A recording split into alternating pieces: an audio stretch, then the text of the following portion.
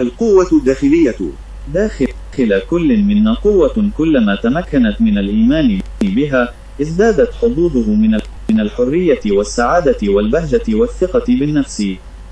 إذا اخترنا العيش في الماضي والبحث عن المواقف السلبية التي حصلت هناك سنبقى سجناء في نفس المكان.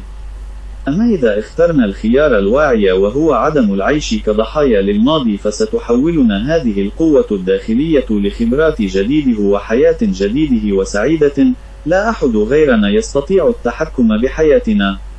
المسؤولية هي الشعور بالقوة وليس الذنب. إذا استخدمنا مشاكلنا وأمراضنا كفرص لتغيير حياتنا، فنحن نملك القوة.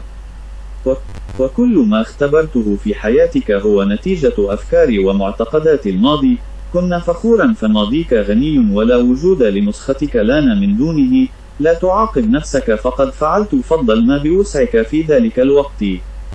قد لا تستطيع فهم كل شيء بعقلك المحدود كإنسان، ولكن عليك أن تعلم أنك في المكان الصحيح، وتقوم بالعمل الصحيح، في الوقت الصحيح.